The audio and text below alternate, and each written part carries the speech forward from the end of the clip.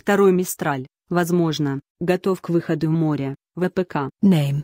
Выведенный из сухого строительного дока после спуска на воду на судостроительном предприятии. STX France. Строящийся для ВМФ России десантный вертолетный корабль «Док Севастополь» типа. Mistral. На заднем плане видны готовый к передаче ВМФ России головной однотипный десантный вертолетный корабль «Док Владивосток» и учебный корабль ВМФ России «Смольный», служащий плавучей казармой для российских экипажей обоих ДВКД.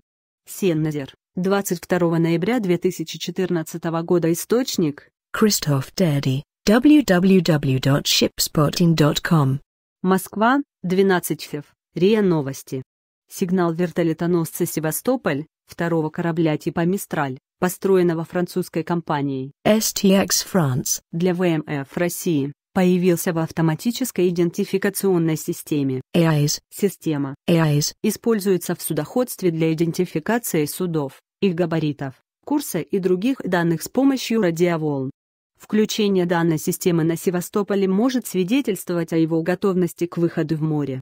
Как следует из данных, AIS. доступных онлайн, в системе Севастополь идентифицирован под французским флагом и находится в бассейне Пинаэ, в 500 метрах от десантного вертолетоносного корабля «Владивосток», первого Мистраля, построенного для ВМФ РФ во Франции.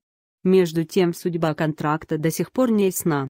Франция должна была передать первый Мистраль России еще в прошлом году, но не сделала этого, сославшись на ситуацию на Украине.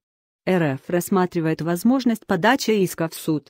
Вертолетоносцы типа Мистрали имеют водоизмещение 21 тысячу тонн, максимальную длину корпуса 210 метров, способны развивать скорость до 18 узлов, максимальная дальность плавания доходит до 20 тысяч миль.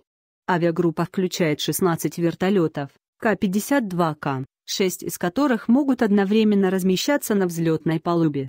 Численность команды составляет 160 человек. Дополнительно вертолетоносец может принять на борт 450 человек.